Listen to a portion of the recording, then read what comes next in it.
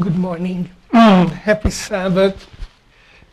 Um, I'm very anxious to present this material to you and hear your feedback on this topic.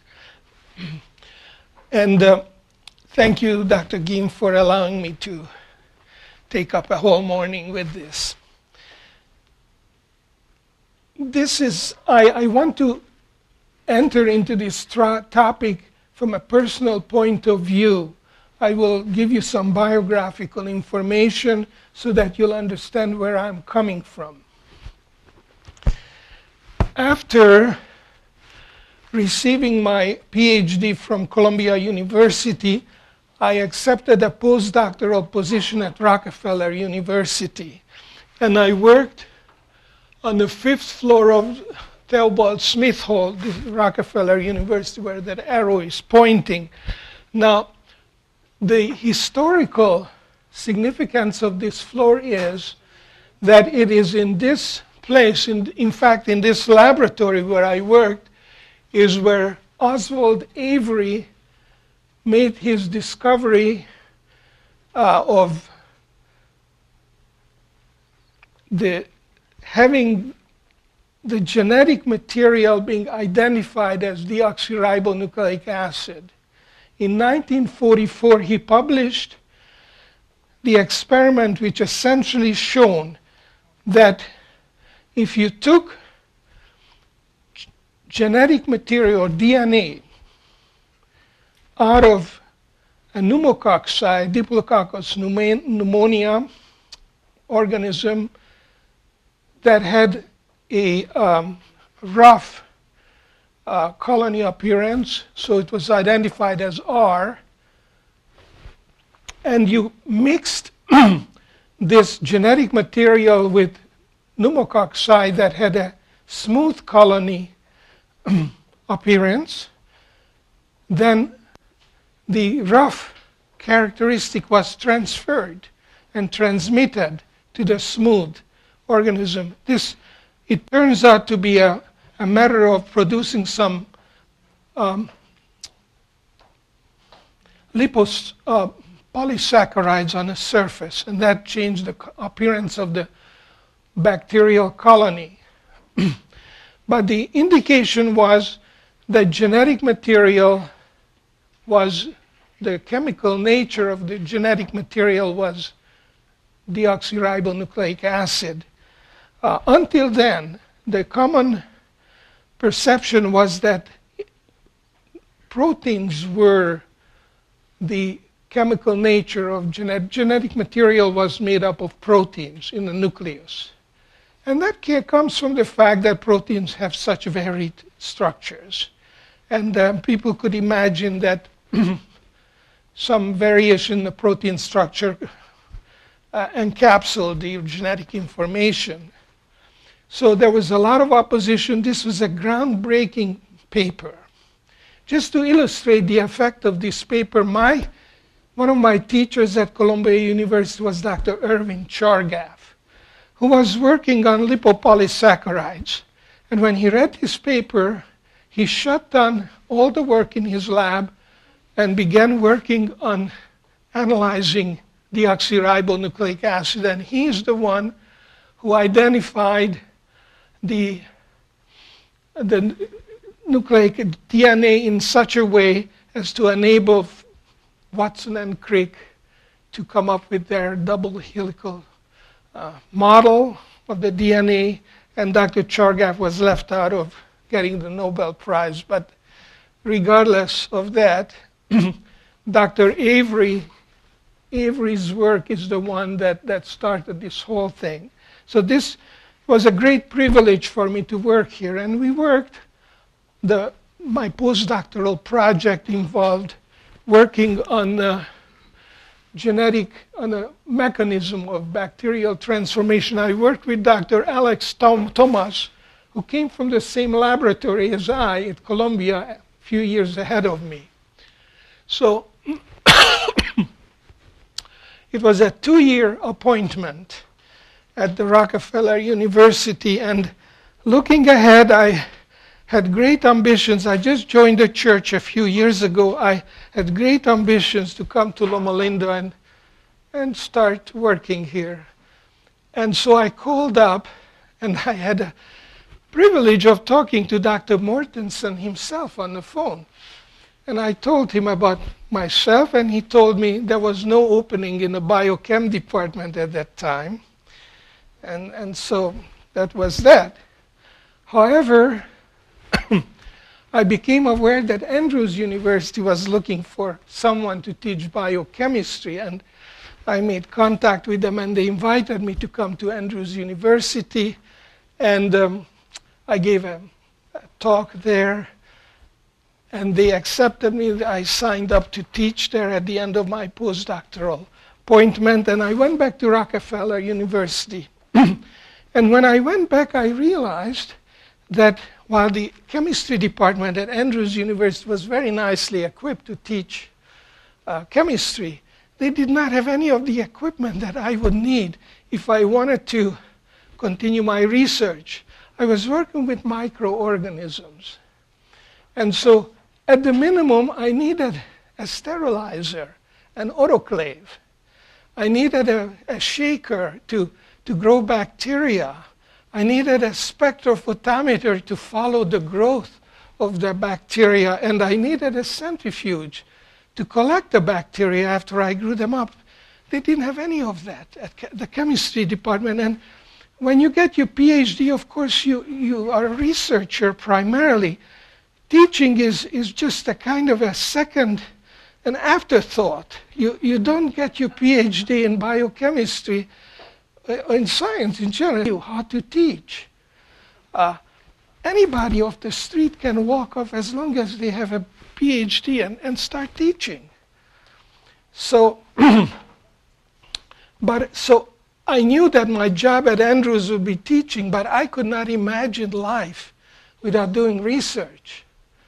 Um, so I and as I was working at Rockefeller University, as I was walking up and down the hallway, there sat a, a, an autoclave, an st- old sterilizer in the hallway, just sitting there gathering dust. And I asked my mentor, Dr. Tomasz, about that autoclave, and he said, Oh, that autoclave belongs to Dr. Hotchkiss. Dr. Rollin Hotchkiss was the chairman of the department. And this autoclave was, had sentimental value to Dr. Hotchkiss, so don't even bother asking him about it. So I, I didn't. I, I respected my Dr. Tomasz and I, I followed his advice. But as and of course, I, I talked to the dear Lord about my needs for research, but that was that. Two weeks before I, it was time for me to finish my appointment, I bumped into Dr. Roll Hotchkiss, Dr. Hotchkiss in the hallway, and I couldn't help myself. I told him, Dr. Hotchkiss, I accepted an appointment in a small Midwestern college in uh, Michigan, liberal arts college, and I'd like to do research there, but they don't have any of the equipment that I need. Do you have any, any kind of old equipment that you may not need anymore? And he stopped looked at me and he said, I'm so glad that you talked to me. I've been worried about my old equipment. I just didn't want to throw them away. And we were standing right by the autoclave. He looked at the autoclave and said, Can you use this?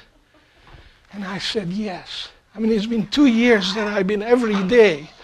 I've been looking at that autoclave. I said, Yes. He said, Let me look around some more, and tomorrow morning I'll give you a list of items that I will have for you.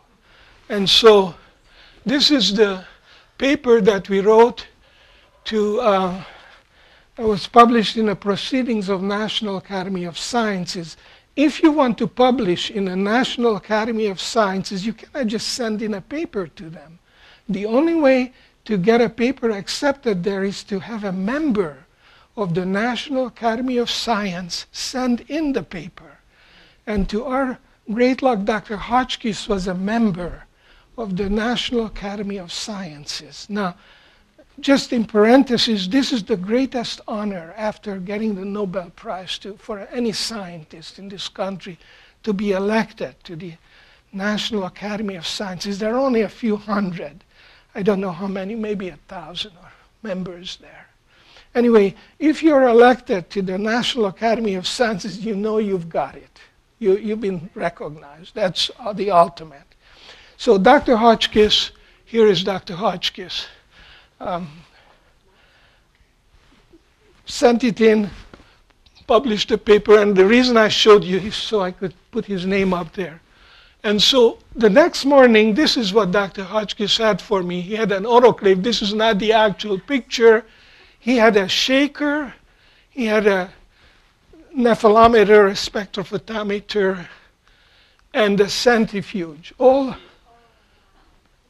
ready. And so when I went to the Andrews University to start my uh, teaching there in the old chemistry building, there was my Dr. Ford, who was the chairman of the department, converted a reading room to a laboratory. And here is the actual autoclave, and here's the centrifuge that I got from Rockefeller. And so I felt so blessed.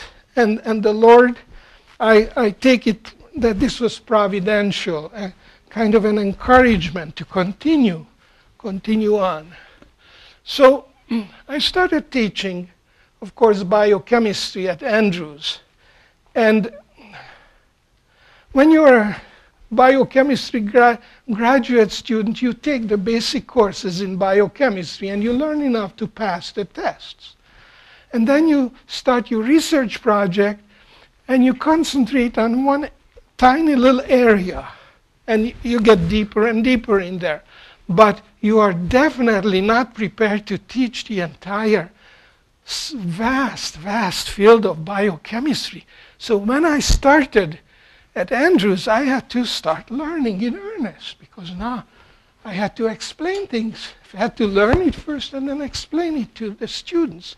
Fortunately for me, there was a wonderful textbook that just came out by uh, Dr. Albert Lehninger, biochemistry. This is absolutely, most textbooks are, are just a chore to read. This textbook was revelation. The man wrote beautifully. I mean, it was a joy. And so I learned biochemistry from Dr. Lehninger. The last chapter in Lehninger is a beautiful summary of the origin of life. The study pushing the idea of abiogenesis, the natural how life came into existence on earth, the primordial earth. And I, I read that, and of course I just became a Seventh-day Adventist.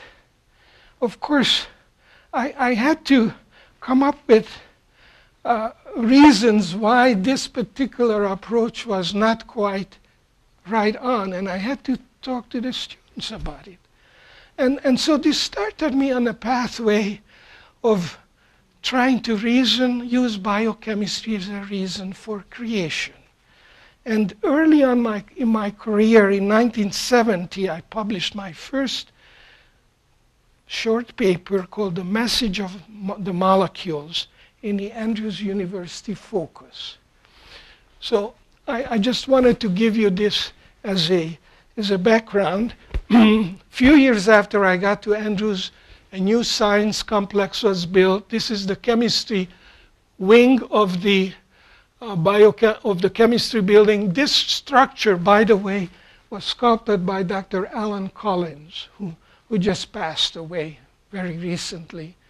Um, here, my laboratory was here, and I, I, was fortunate enough to get a grant, and we purchased an ultracentrifuge. And the ultracentrifuge was brought in through a, a crane to this window. It weighs a ton, and this building was not designed for ultracentrifuges. And when I went back a few years later, after I left Andrews, there's a crack developed right here on the wall. I, I, I mean, it's stable, but that was the ultracentrifuge stressing the structure.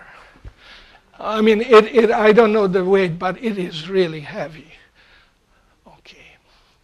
So from Andrews, I transferred here to Loma Linda, first to the microbiology department. In the block building, I had a laboratory, and then finally, my final place was Mortenson Hall across the street, my laboratory. Notice the great order and organization there. But um, I, I spent many decades of very happy research here.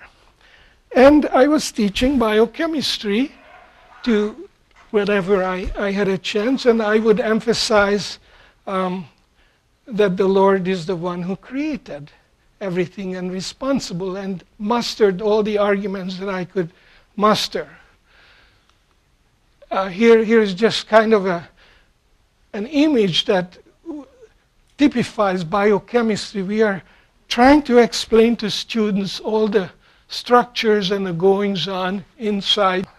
Okay, this is just a small portion of that. But I was really very, very pleased to be able to teach, and I could share with the students my faith and match it with the biochemistry that I, I learned and I could do research. And I was surrounded by colleagues who were also doing research. It's so important to have an environment where other people are doing research. And then something happened.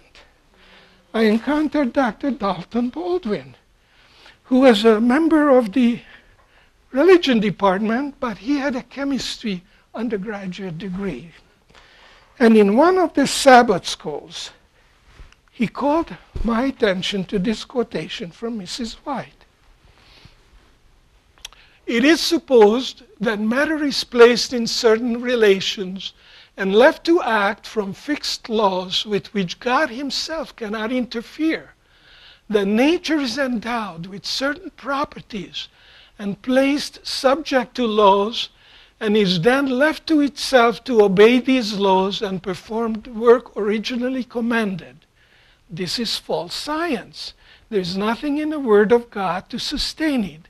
God does not annul His laws, but He's continually working through them, using them as His instruments. They are not self working. God is perpetually at work in nature. It is not by an original power inherent in nature that year by year the earth yields its bounties and continues its march around the sun.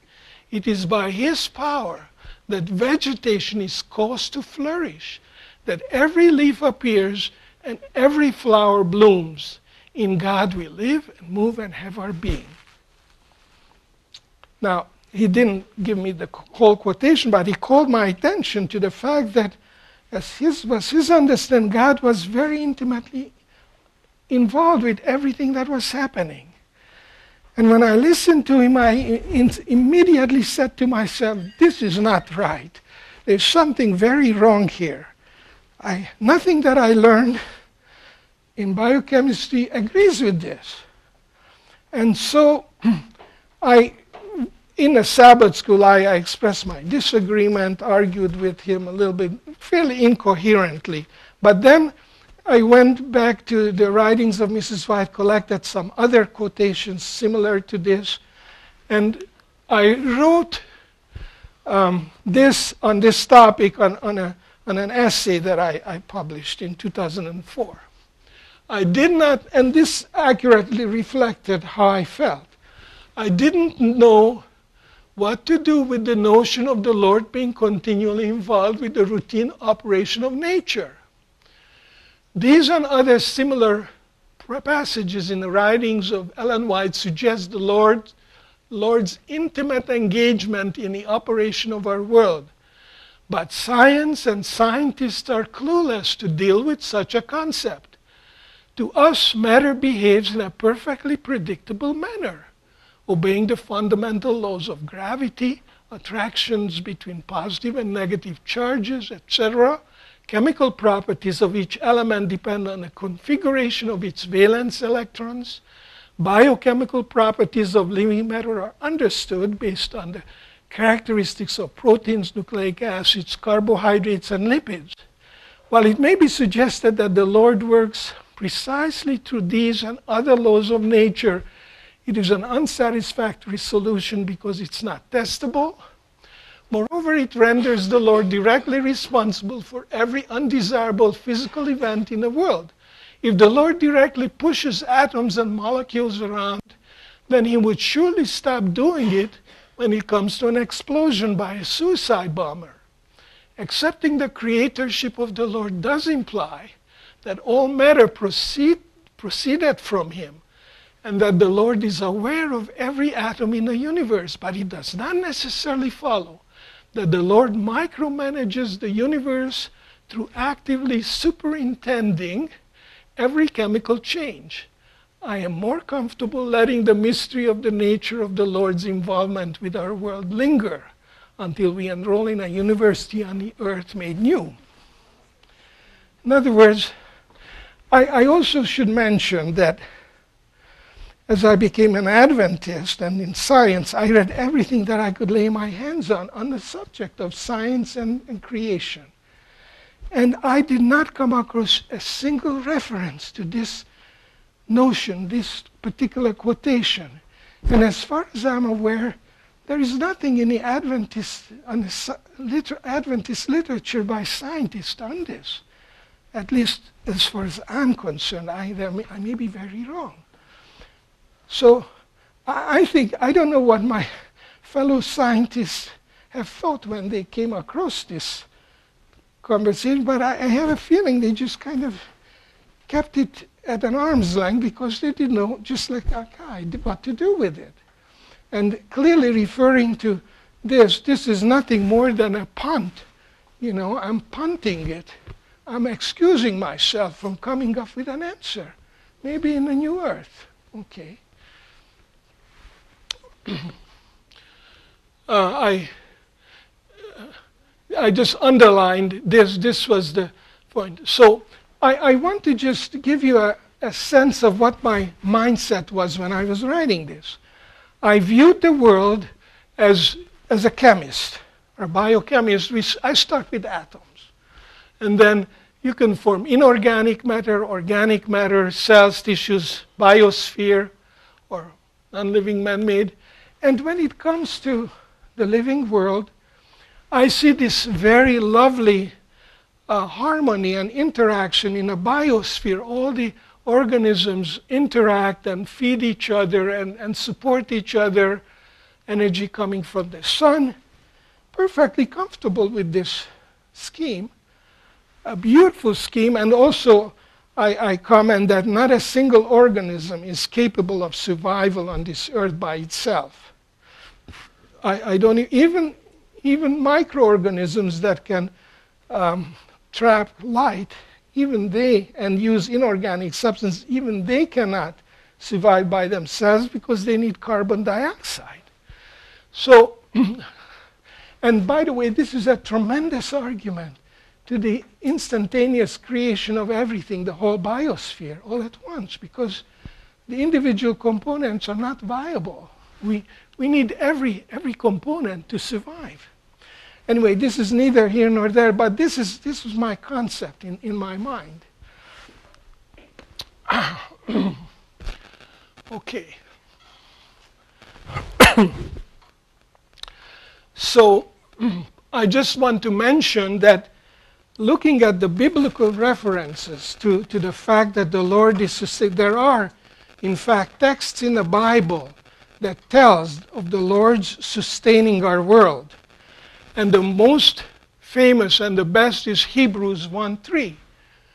Uh, the sun radiates God's own glory and expresses the very character of God, and He sustains everything in the mighty power of His command. Um, there's a one of Job's friends makes this statement. if God were to take back his spirit and withdraw his breath, all life would cease and humanity would turn again to dust. Wow. And then, of course, Paul uh, quotes a, a, pagan poet, poet who says, For in him we live and move and, and exist. Now, I, I've seen these quotations. I didn't see necessarily Job's. That was a surprise to me, but I've seen these and I, I kind of always thought this is a poetic expression of, of the Lord's majesty. no, it, it's, it, I don't have to really work with that. so I have to confess that all my career, through teaching at Andrews and, and Loma Linda, I lived with this tension of not being able to resolve uh, the clear. I mean, Mrs. White is not mincing words on this, but I could not resolve those statements and what I understood to be nature is or how things work. now, after you retire, you, you're released from the pressure of, of having to lecture and, and argue, and, and you can relax. And I had the opportunity uh, to go to Kentucky to participate in a seminar on how to teach biology to, to college students from a creationist perspective. And, and so I prepared my material, and then I, revisit, oops, I revisited uh, this topic. But now, for some reason, my perspective broadened as far as how I viewed the world. Instead of starting with atoms, I went beneath the atoms, knowing really nothing about subatomic uh, events, but I, I, realized that before you get to atoms, you have energy and you have subatomic uh, elementary particles, and then you come to the atoms. And, and this is kind of a, a picture of describing subatomic particles and their relations, and my eyes always glaze over when I I see the words leptons and quarks and bosons and uh, gluons, you know. But there they are. And so the thought occurred to me, and this is, this is my major point, and this is the one that I, I need your input and thinking and implications, so on. What if these forces are just not constant, but they require the Lord's input. And I'm talking about gravity, gravity, magnetism, the charges on, on protons and electrons, strong and weak nuclear forces, and the separation of matter and antimatter because at least when matter is created in a lab, they are they are created, both matter and antimatter, and unless they are kept apart, they'll come back together and annihilate. So, in order to keep antimatter from matter, you, you need some, if in fact antimatter was created, I'm just hypothesizing. So, at this point, I'm departing from reality and I'm doing speculation, but the, the basic point is that I've turned around and I've come to take what Mrs. White says about God's involvement in, in the operation of nature very seriously. Instead of shutting it out, I'm trying to incorporate it into a worldview which I call the superintended creation. And so I went back to selected messages, and this is what I found. Those who have a true knowledge of God will not become so infatuated with the laws of matter or the operations of nature as to overlook or refuse to acknowledge the continual work of God in nature. Nature is not God, nor was it ever God. The natural world has in itself no power but that which God supplies. And then here is this word God is the superintendent as well as the creator of all things. Wow. Wow, why didn't I see this before? the divine being is engaged in upholding the things he has created. It is through the immediate agency of God that every tiny seed breaks to the earth, springs into life. so, I'm making this categorical statement, which is nothing more than the statement of a traditional creationist view, except. So, eternal Godhead creator existed from forever before time, space, and the universe. Every particle in the universe has been created by God. So now this is the part. Every particle in the universe is sustained by the Creator moment by moment. Should the Creator withdraw his sustaining power, the universe would cease to exist. you know, I have it on authority of Job's friend to say that. So that's, you know. but so I'm coming to a close. I, I just put in a plug. Superintended creationism removes the mythical aura of omnipotence from, the, from inanimate matter.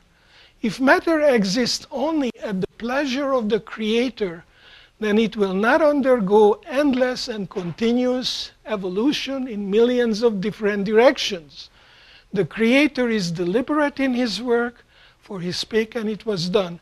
Now, the apparent chaos and less than perfect state of our world and solar system are the consequences of the great controversy and show a degradation of the creator's original design. I put this in because if we look at our world and, and our immediate surroundings in, in our cosmos, we, we can make a strong argument that this is not very perfect and there are a lot of things that are not working well.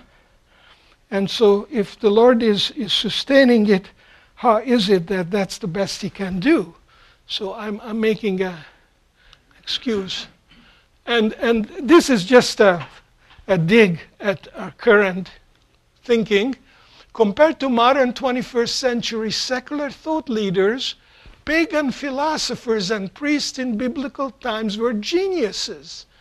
They recognized the reality of forces far superior to mankind's prowess. They did not lock themselves into a self imposed intellectual cage and threw away the keys, which excludes any hint of the supernatural, and witness the Athenians' high council, uh, and so on. And so when Paul talks about the Creator God, He Himself gives life and breath to everything, and He satisfies every need for in him we live and move, exist. He was talking about superintended creation. So this is my closing comment on Sabbaths when we worship the Creator not only for creating and redeeming us, but also for sustaining us moment by moment. Superintended creation cements our relationship with our Lord as we confess that we cannot exist without Him. So thank you so much for your patience and look forward to your comments.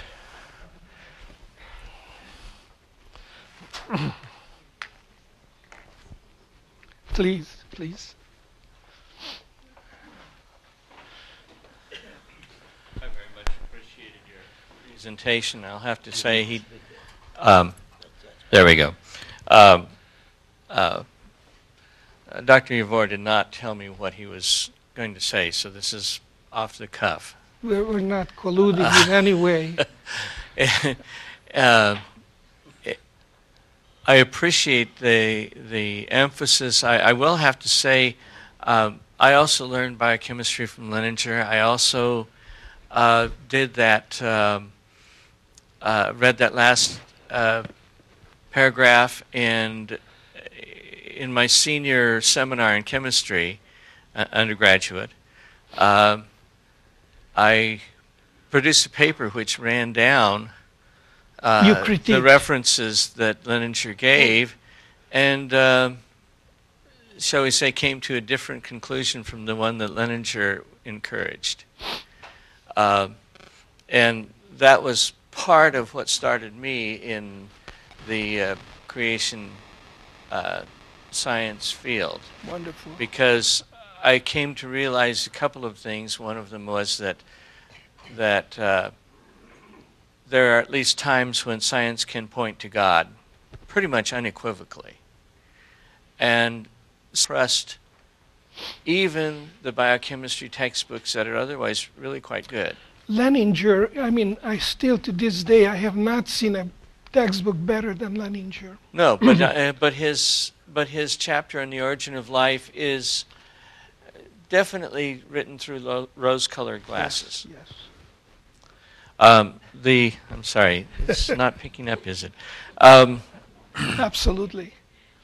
The the third thing that I thought was interesting uh, that I thought was interesting is that um, uh, that you and Dalton Baldwin had run into this problem with uh, well, does God just create the laws and let things run by themselves, or does He actually intervene? Um, and it's fascinating because, as far as I can tell, Dalton Baldwin got cold feet on that message for the precise reason that you were having trouble with it, namely that uh, uh, that makes God responsible for such things as cancer. Yes, yes. And and so the way I view it now is the second time is that the Lord provides the the wherewithal, but he does not micromanages every chemical reaction. The Lord is, it's a little bit like if we visualize this earth as a, as a machine, a very elaborate machine, and you plug it into the electricity. The electricity gives the energy, and the Lord is providing the wherewithal. But I also realize it's a cop out because I'm going to an area about which I know nothing. But I don't see any place in the dear Lord's immediate agency in the from atoms to the to life area. There may be, except I am totally ignorant of it. One of the things I'll point out is that it is very difficult to tell the difference between a, a universe that runs on its own and a universe that God runs.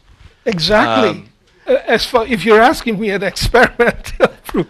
Actually, interestingly enough, when you start getting into quantum mechanics, you start getting into those exact kind of, of experiments. Um, and uh, I know nothing about quantum mechanics, and we, shows. We, we, should we should have some fun with that sometime. Thank you. Um, but there is another thing that I'll point out, and that is that the difference between it theologically is not that great. Let's oh. supposing that you're an all-powerful God. Mm-hmm. You run the universe, and you actually have your fingers in everything, so to speak. Your you, your spirit ener, uh, energizes the whole thing. Yes. Makes it work. Yeah. You're obviously responsible then when people get cancer. Oh, as a matter of fact, you're responsible when people shoot each other, and you think about it, because if it wasn't for your power running the nerves that go to their fingers, running the mechanism that is in the gun that they produced, uh, causing the bullet to obey the laws of physics and accelerate through the barrel and then continue its path with just a very slight drop until it hits the other person and then causes the destruction that uh, bullets do you are actually intimately involved. But I do want to point out that having a God who simply sets up the stage and then lets it go, but maintains the ability to cause miracles, you're still responsible. You can't get out of it by just simply saying, but that was the thing I made, uh, in, in which case, there's really no permanent theological advantage to simply passing this off as, well, that's nature and that wasn't my doing. Uh, and the reason I say that is because you could have stopped that bullet even if, or you could have caused the person's finger t- to be paralyzed. Or there are so many things you could have intervened in, even if you let things run the usual way. The Hacksaw Ridge movie implies, I mean, we as Adventists, when we watch Desmond Doss in a hail of bullets, we clearly believe that there was a shield around Desmond Doss. He could never have survived. In fact, there's a Japanese uh, soldier who later on uh, reported that he had Desmond in his sights a few times and was unable to pull the trigger at that point.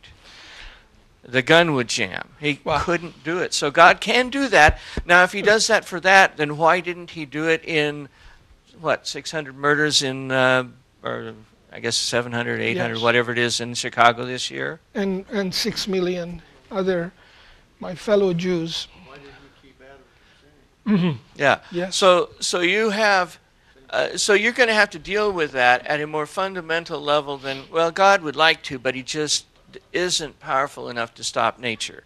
That won't work. No, no. Uh, but I, the final thing I will say is that uh, the more you study uh, quantum mechanics, the more you realize that there is no mechanics to it. Just that it's quantum. really quantum mathematics. okay. And the particles obey laws, but they don't do it by themselves. And that is the one place where I think you can kind of demonstrate that there is a difference between God uh, just setting up the laws and letting things run that way and actually making things go by the laws. And then what you see, the laws of nature are literally the laws of God. For sure, for sure. But anyway, uh, let somebody else comment. Thank you so much, Paul, and uh, you you fertilized this topic nicely. I, I had a question. Please, I was wondering, um, Ellen White seemed to be against pantheism, but as you understand pantheism, it comes pretty close to explaining everything.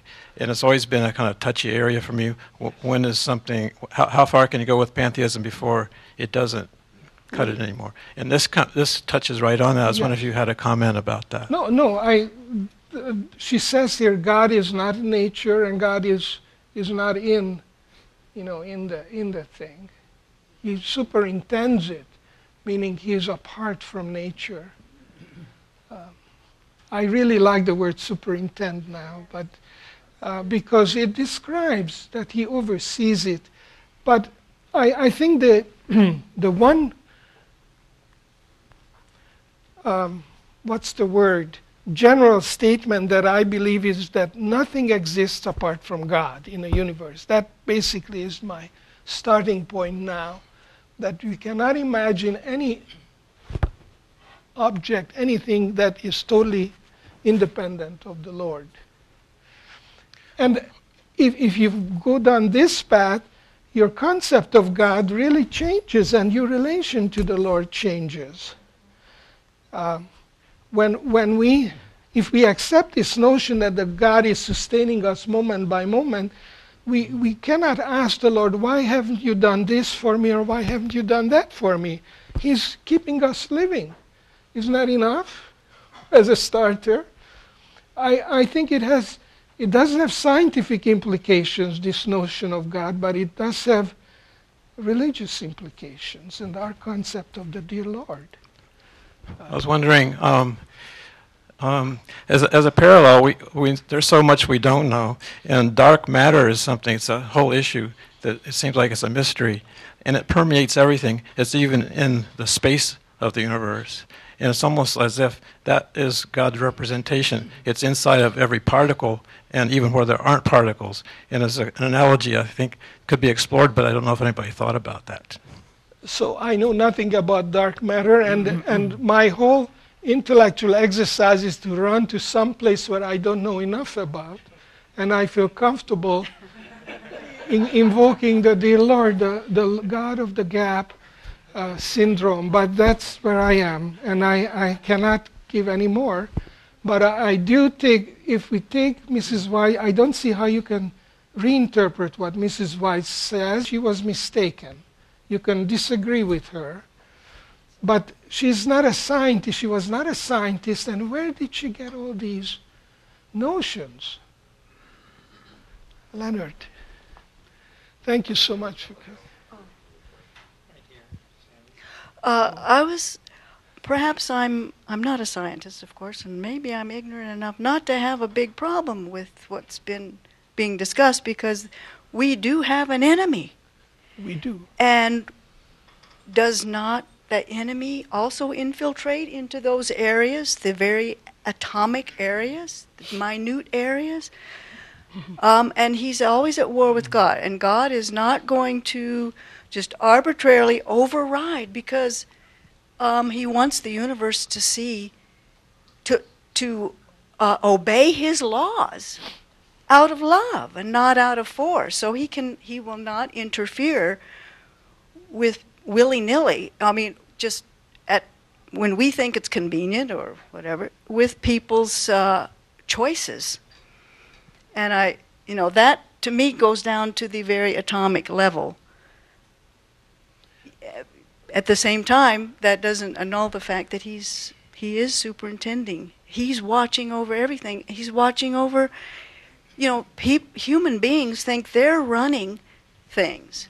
The co- the nation, the Yes. country, the world, Yes. they have all the power.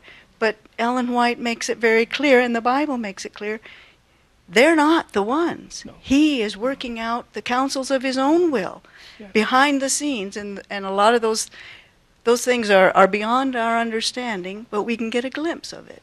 Yes. Please. That first Ellen White item that you mentioned, uh, she words it in a way I think that could be misunderstood, and it.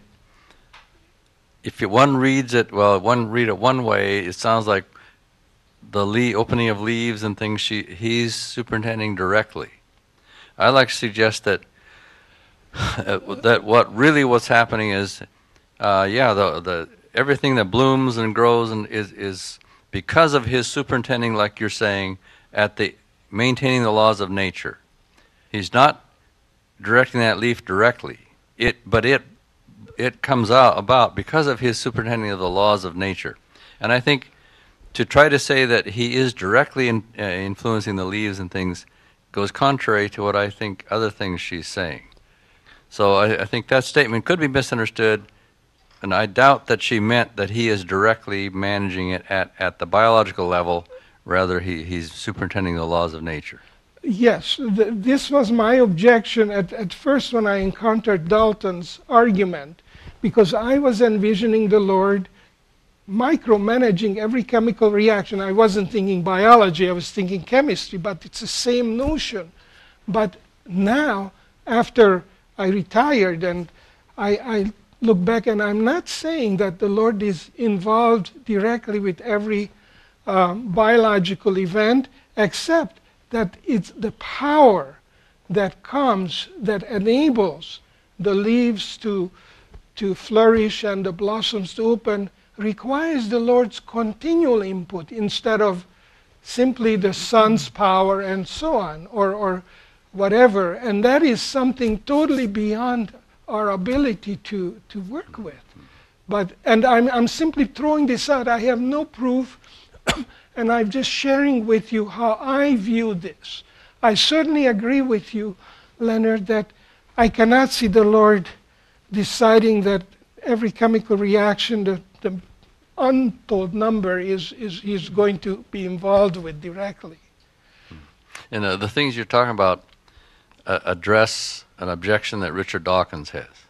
He says, okay, so if God created the world, who created God? So what he's implying is that as you go back in the chain of causation, uh, you know, we can't explain God so that, that there, there's no use for God. But That- he's missing it totally. Oh, Because absolutely. if, if there's no God, where did these laws of nature come from? Where did matter and energy come from?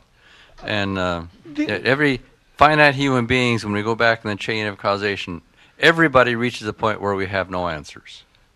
Leonard, the, um, the idea that who created God, the question is so childish. It's such an ignorant, it displays such ignorance of the first assumption that we have that God has no origin.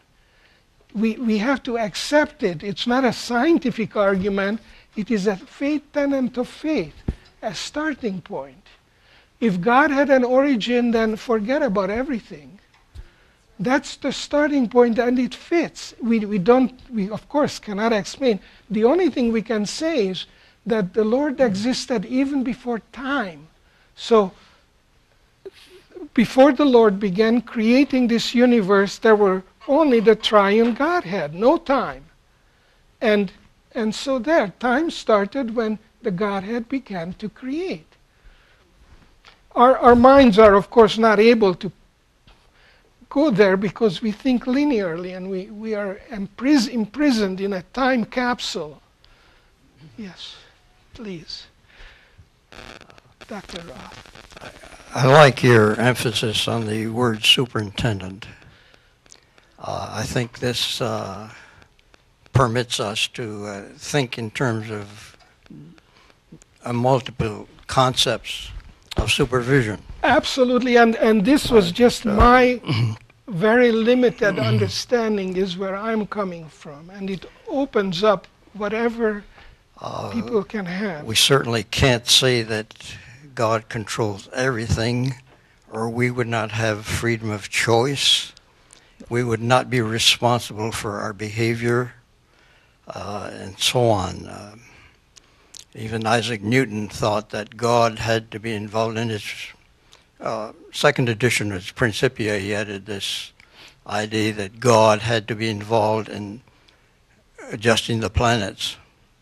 Uh, he didn't think they could go on forever.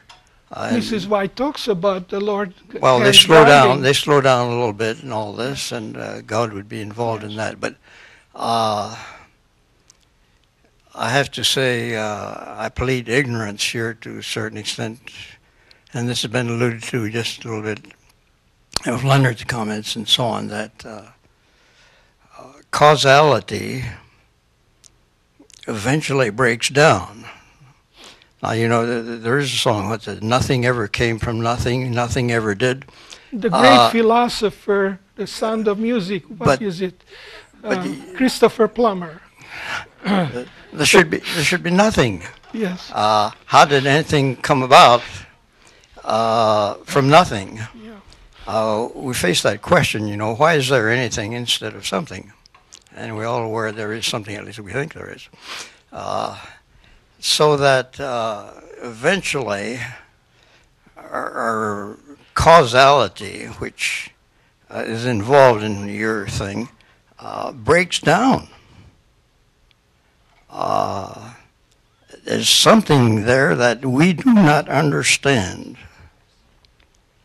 and that, uh, and and the s- very simple concept of oh, where did anything come from nothing tells us that uh, uh, reality is not as simple as our simple minds like to make it. Dr. Brett Stater, thank you so much for coming. Thank you very much, uh, Dr. Javor, for your sharing your heart with us today. That's what it is. Mm. It's a journey to try and penetrate into the reality of things. And I, I should also add that this is an area where our, my scientific colleagues at Adventists have been silent. We've been so busy fighting the question of origins, and rightly so. That's where the attacks are coming, that we have not had aspects of creation. I have been waiting hopefully for years uh, to see something published in the Adventist media on modern physics and on the quantum theory. Ah. As uh, my friend and neighbor here, Paul Giem, has mentioned, quantum theory um, engages us with realities in modern physics that have been reaffirmed again and again in the laboratories. They are reality, and yet they do not obey the laws of Isaac Newton. Right. They are beyond our understanding. Yes. Uh, superposition. You, know, you claim ignorance of, of quantum theory, and I will join you on that same platform of ignorance. There is room there. But you see, what what has provoked me as much as anything is that the concept of entanglements, within which, within which, a pair of subatomical subatomical particles that are entangled, they, though they are separated then by a large distance, if there is a change in one, that change is instantly reflected in the change of the other. Yes. So that there is some, some kind of communication, no matter how vast the distance may be, Yes. even interplanetary distances. And that there has been, that's been challenged again and again, uh, it has been reinforced and is a part of accepted quantum theory today, and the physicists have no way of explaining it. I have seen it at work at Glacier View. yes, when, when in their conference rooms, Adventist scholars, including scientists, have been arguing for the sort of Newtonian uh, universe that we could all understand from early high school. But those same men who were pleading for Isaac Newton would sit at the lunchtime opposite me and bow their heads and say a silent grace to God above, wherever above may be, and with the, with the belief, the conviction that their silent prayer is heard and communicated across the universe. Now, that's quantum theory implemented. Thank you. And, and yet, I'll tell you what it does to me, if I may please add another comment. Uh, these remarkable realities that have been uh, documented beyond question in the laboratories anthropomorphism uh, or the fine tuning of the universe, the ultra fine tuning verse that without which life could not exist, the remarkable multivalent properties of the carbon atom, without which organic compounds could not exist. These things are recognized by science, even, even uh, top level scientists, as true and without explanation. So um, that's why the hard scientists, I mean chemists and physicists today that I read regularly, are seldom outright atheists. They are agnostics because they cannot explain, but they will not uh, uh, deny the possibility of the existence of a superintending God. I, I get a kick out of reading newspaper and other reports of astrophysicists and other non-biological scientists making pronouncements about life outside. They are always the ones who, who, who make these sweeping statements. Biologists and chemists are very slow in making pos- outlandish postulates. Those people who have a, a grasp of what they are talking about. I have been impressed by reading and by listening to two lectures by a very uh, respected scientist in Britain today named Rupert Sheldrake, who uh, is a, a long time teacher at Cambridge University. And um, he has introduced a, uh, an expression that I won't try and reproduce here, but he believes there is something within nature that we cannot explain. And this man, Sheldrake, is a close friend of the Royal Astronomer, Astronomer Royal, pardon me if I get his title incorrect, but he's just, Sheldrake to me is an example of an extremely well informed, thoroughly read scientist who is not only admitting the possibility, but insisting on the possibility of a force far beyond Isaac Newton. There's something that shapes the, the world of life that we know. And one, sorry about this, but uh, there is a Professor Chiao, a professional physicist at the University of California in Merced today, who has done a lot of, of laboratory research into quantum theory, testing teleportation.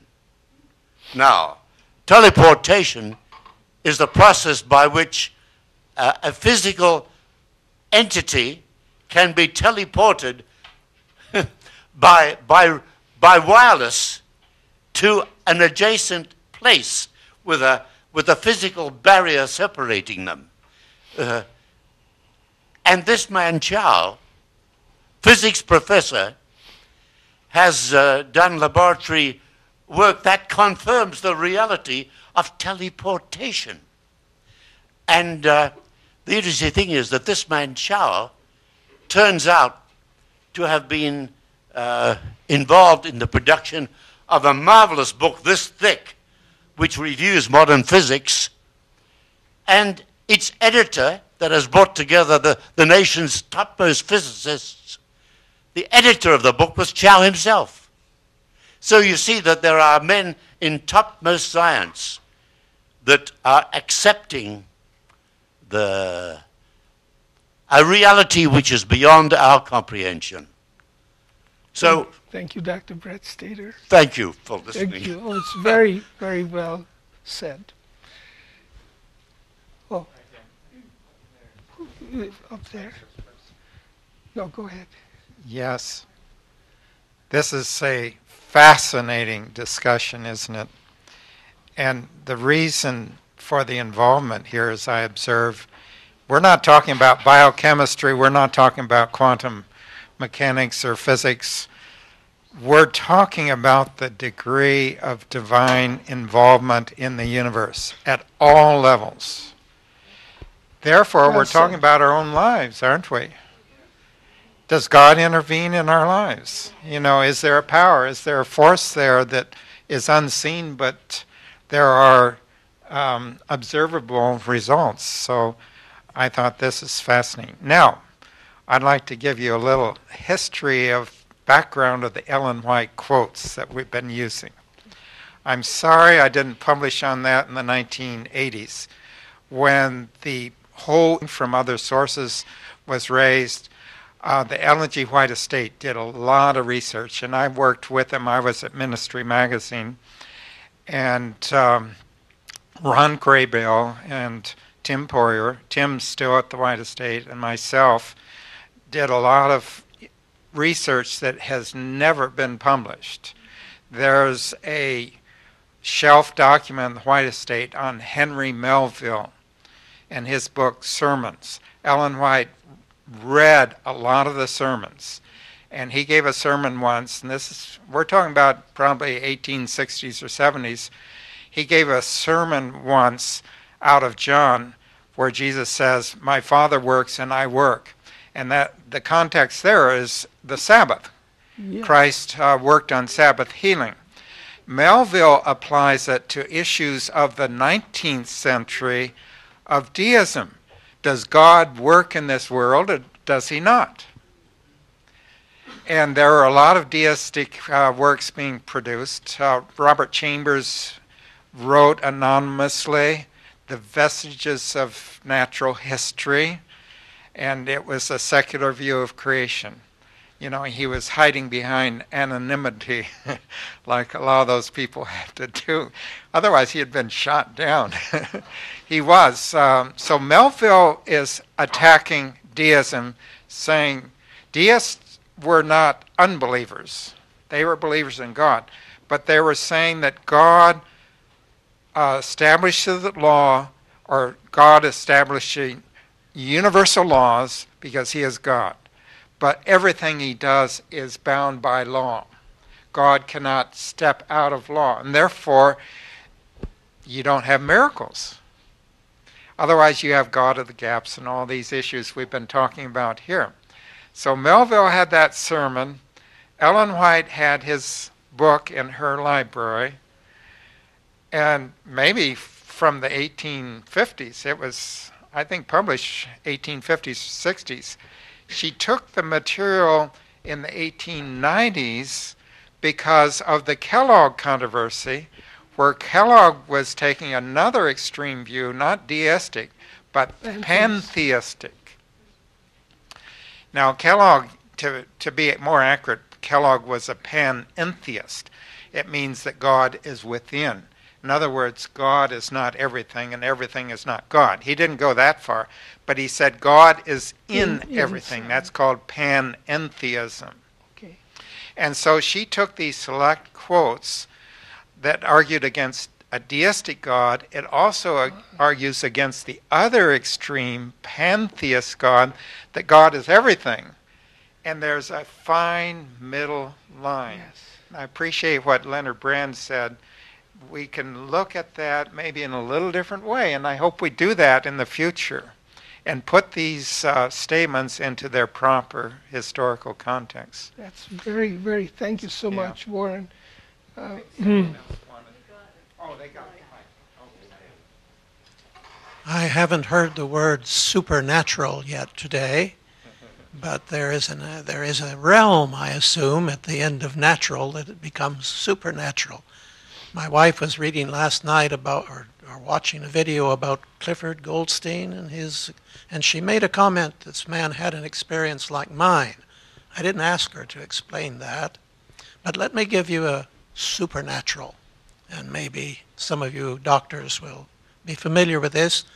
The person is on the operating table being operated on, but feels himself float to the top of the operating theater and observes what's going on below. I've done that, and others have done it, they've written on it. Is that natural that we haven't uh, pushed over? Wh- Where is that? Oh, please don't ask me. I work with bacteria. It's above my pay grade. no, thank you so much for your comment.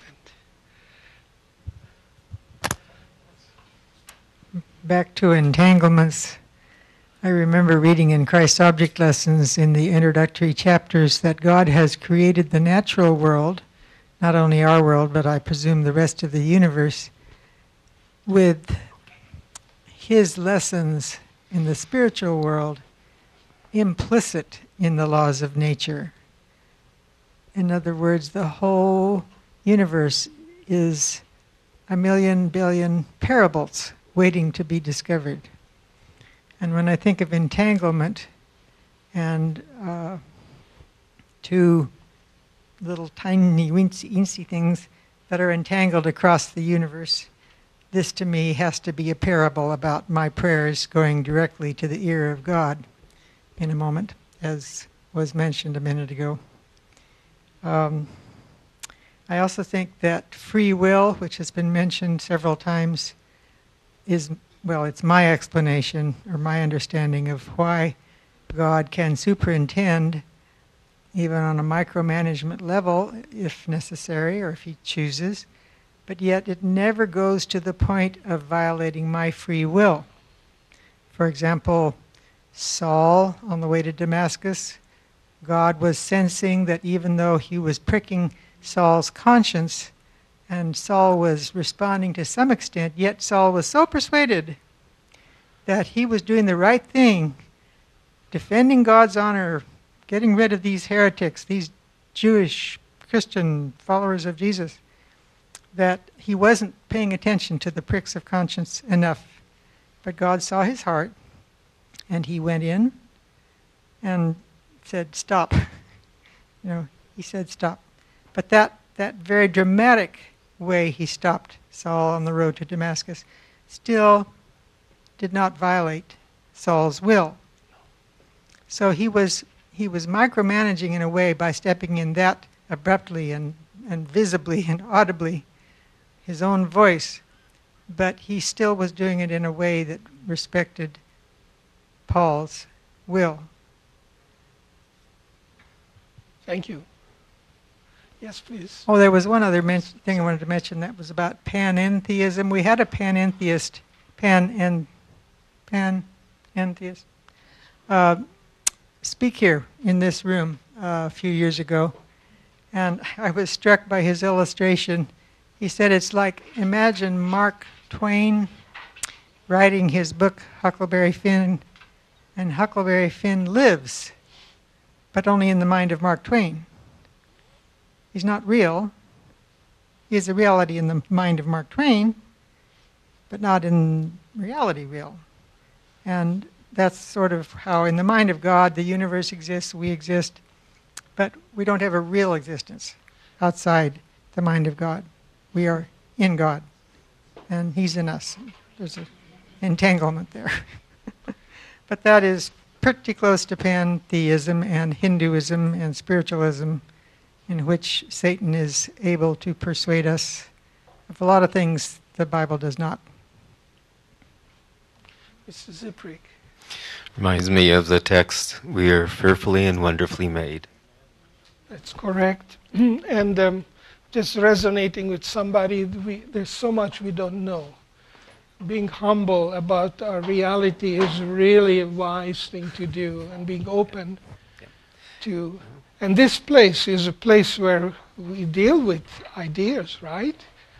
This Sabbath school is marketplace. Like, like for Paul ideas. said, we see through a dark, like, like we see through a glass darkly, but someday we'll see uh, face to face.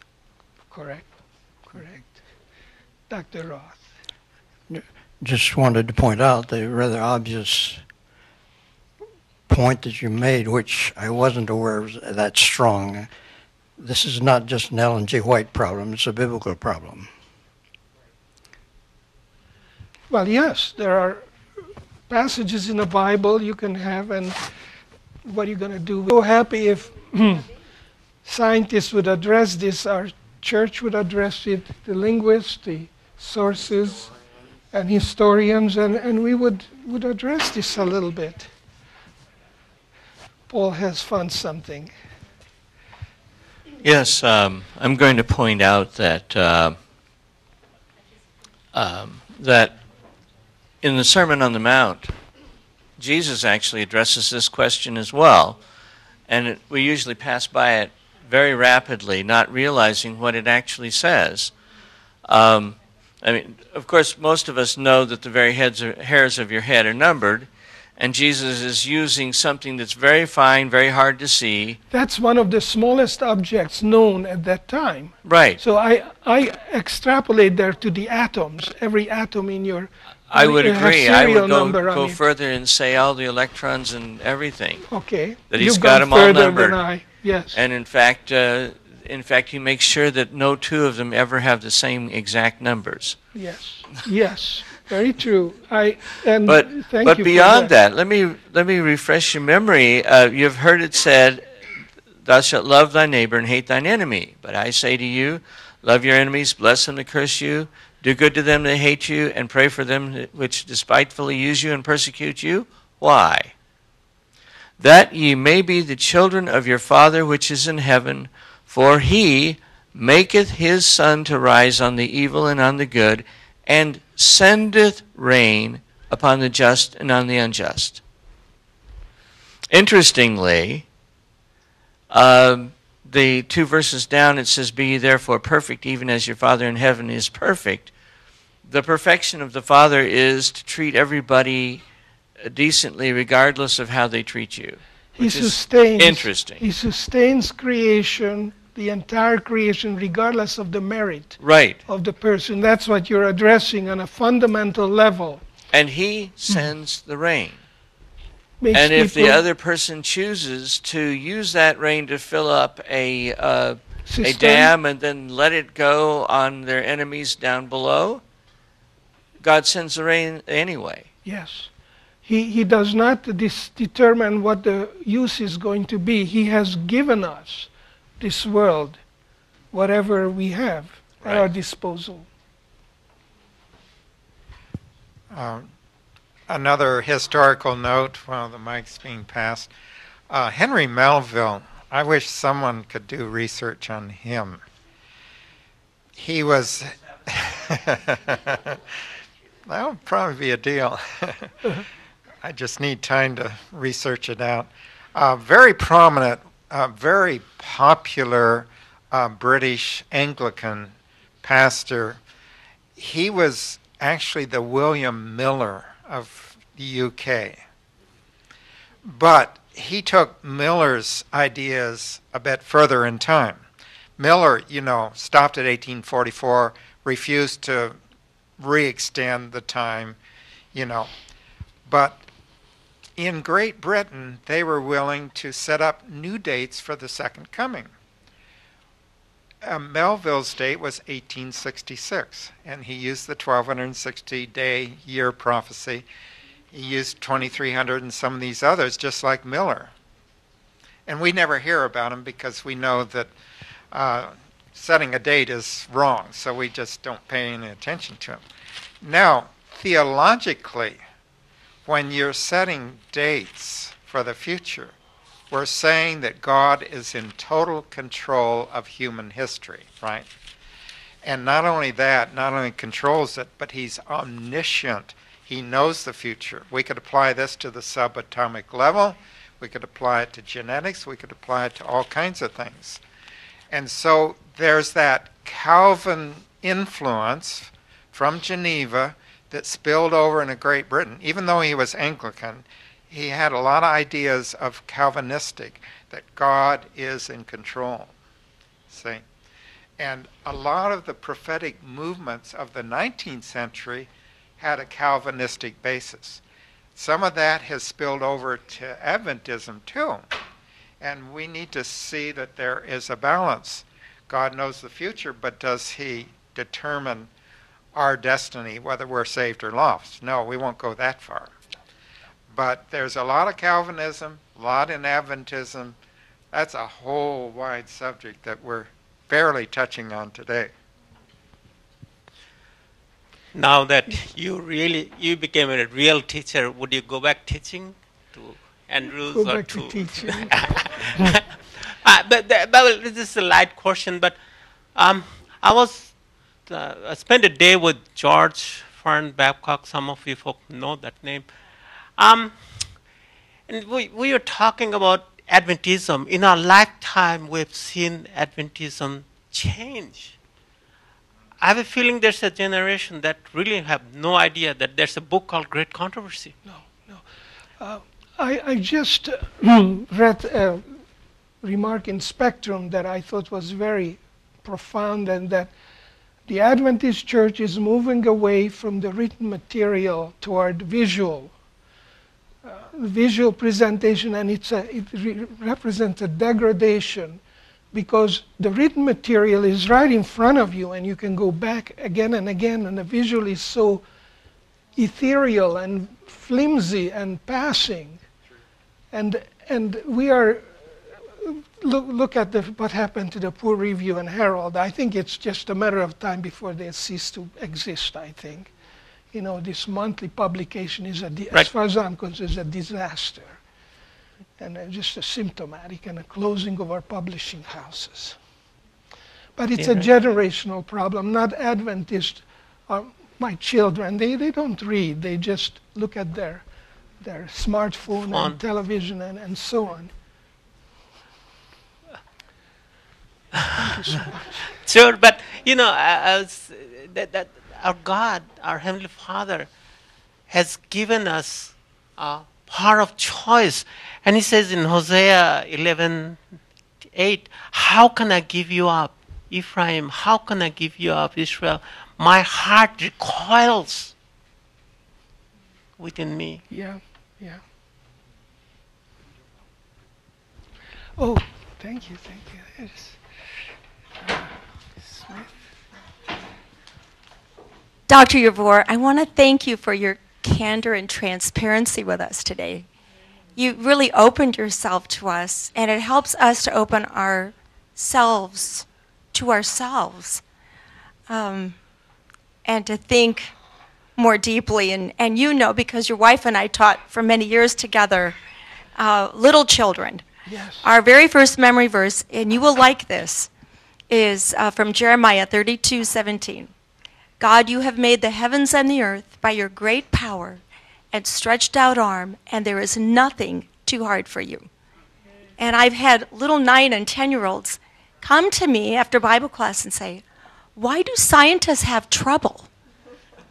you know, from the mouth of babes, really. Um, Wonderful. Because their hearts are open. And I think a lot of what we see in the, in the world today is, is because minds are cluttered. And I appreciate what you had to say about the written word. And um, there is a new generation of parents, even five to ten years ago, I said something to my parents at our back to school night about the Bible story books, the Arthur Maxwell Bible story books, and they didn't know what those, those were. And what is the ABC? And our ABC closed in Loma Linda. You know, it, it went by the way as more and more things were going on Amazon online. How could that happen? How could that happen? And, and so, you know, our, our par- my parents now are getting to be the age of, of um, you know, I'm old enough to be new parents that are coming to me because I teach, you know, fourth grade.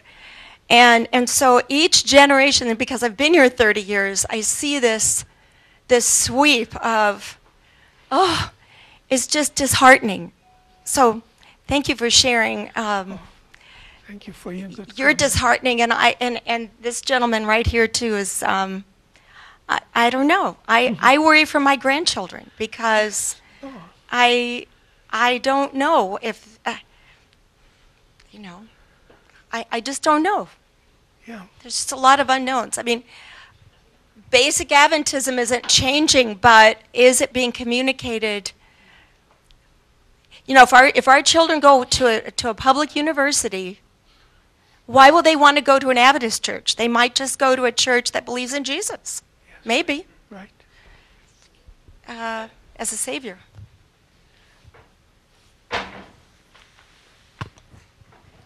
I really feel that folk like you need to go back teaching. Seriously, because we are losing, this church is losing by the youth by the droves. We are. You know, it's uh, one, one time I was fo- foolish enough to uh, accept the job of being the uh, school board chairman. And I says, what's our guiding force in here? The Bible, the spirit of prophecy. One of the members says, you never, ever mention Ellen White here again. then I was threatened with the lawsuit. Well, when it comes to that, uh, where I work, I walked on water. No one could touch me. But no one in my own church would ever say you, we could go to, to the legal system on this, standing for what we know is right. Things have changed dramatically within Adventism. And, and I, f- I feel folk like you need to, even I'm sitting here and, well, you're, you have a Jewish background. How did you choose to be a Seventh day Adventist? I think it's a beautiful story and it needs to be told. So, what, what, what, when we don't preach Christ anymore from our pulpits, why would our young people stay anymore? What should attract them to the movement anymore? My, my thought is that if we are successful in publishing a, an article, it's like teaching. We're, we're trying to be teachers to the readers of the, of the magazine. So I've been trying to communicate my thoughts in, in articles. I, I wrote up a superintended creation and, and uh, I guess send it to the Review and Herald. It was rejected. and the comment was that it wasn't interesting enough. You know, I didn't, it wouldn't hold the reader's interest. So that's fine. get you on a smartphone. I have a smartphone. No, I mean, we need to get what you publish. on technology, It's okay. because that's what But Actually, these um, these sabsicles are downloaded onto the internet, and uh, I don't. I haven't tried with one of the newer smartphones, but I believe that you can access them on YouTube, which means that they can be downloaded to a smartphone. So we're trying to keep up. Uh, maybe not as successfully as we might, but we're, that's the aim here is to make this material available. And I'm going to suggest that one of our, uh, you know, our publishing model beforehand has been you sell the books, they pay for the printing. And I'm not sure that we can do that as much as we would like to anymore. I think we should have a model that has stuff out there and then uh, perhaps uh, has, uh, you know, if you want this printed, here's where you can pay for it, but otherwise you can just read it and uh, come back to it. Um, and yeah, it doesn't make it self supporting. And that means that those of us who feel that it is really important are going to have to pay for the, um, at least the, uh, the cyberspace to, to use to house it. I, I think that's coming, is we're going to have to put stuff out and let people read it. Yes. All your talks are on uh, YouTube. You just search Paul Giem. Look at that. Back, back in 2014.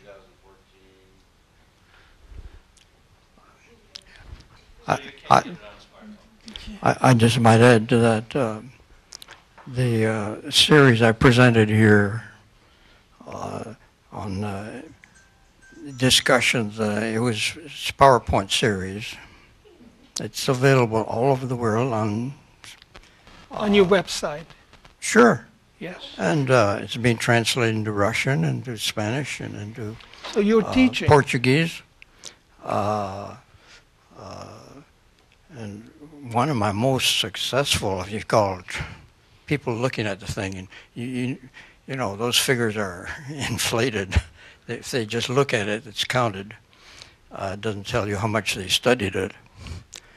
Uh, the two presentations I've prepared about the Grand Canyon are the fastest growing uh, entities I have on my website. Uh, one about depositing the layers during the flood, and one about cutting the canyon by the receding waters of the flood. a lot of interest in that thing, uh, Yes. for some reason or other. Yes. Um, talking about 10,000 hits on my web Wow. page per, per year, Wow. not per day. Sorry. So you have an This is not- audience of thousands. This is not uh, uh, an explosion whatsoever, but there's some interest there. Beautiful. Lord has a way of of keeping the material going. Mr. Ziprik.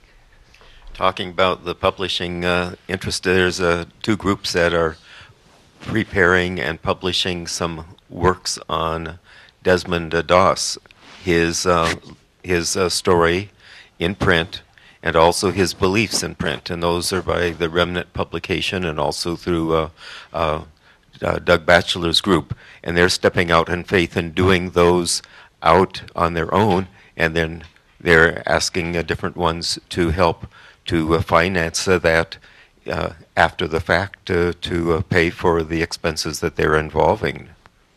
And the same with Remnant Publication is doing a Desire of Ages publication, printing that in an inexpensive format and mailing it to a number of households all within a certain zip code area. And uh, there are folks that are supporting that as well through Remnant Publication. The Great Controversy, uh-huh.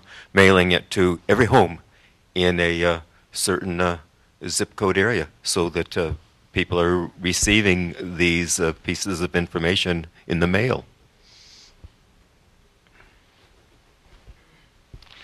Thank you so much. Have a great Sabbath.